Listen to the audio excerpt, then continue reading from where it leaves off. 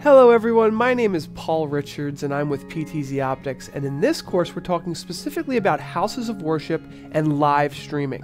I was just told that we have over 100 known customers using our cameras for live streaming and over a thousand people from the house of worship faith-based market who reached out to us for help in live streaming. So this course is to extend our knowledge and let me just tell you a little bit about it myself. I've been in the industry for eight years working in professional audio-visual integration and installation. For the past three years, I've been focusing on live streaming.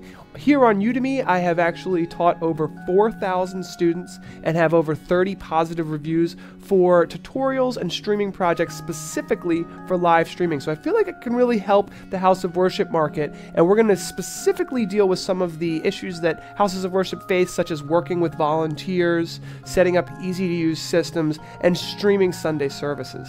So the ideal student is going to be somebody who's maybe a church media manager or just a church volunteer. Hopefully, this course will help train volunteers to be able to live stream church services, and we'll ta- we'll tackle some of those interesting questions like why churches live stream and why it's becoming so popular. A church pastor or anyone interested in live streaming for churches or houses of worship. Um, the benefits of this course is we're going to be able to prepare volunteers with the knowledge they need to be able to very easily live stream their church Sunday services or events that they're having. Uh, we can help you determine the best setup, whether it's hardware or software. We're going to give you some free virtual sets, which I will show you in a moment here, which are really fun and cool and easy to use.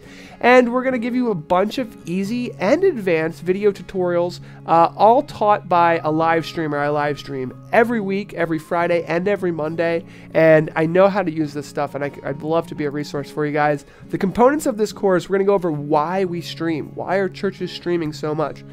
Choosing the best software, choosing the best hardware, working with volunteers, and going over those streaming destinations that are specifically built for churches. And then finally, we're going to give you, we have a free program now where any house of worship can be put in our streaming directory, helping connect churches with their local communities around the world. That's completely free and available on our website. Before I ask you to take a look at the description below, I just want to show you one of the free virtual sets that we're going to include with this course.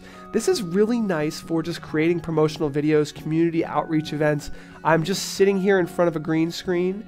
Um, you can have kind of like the church uh, lyrics and things displayed in a nice, easy way. So I hope that this becomes a great uh, resource for you guys. Check out the information below, and I look forward to teaching you how to do church streaming.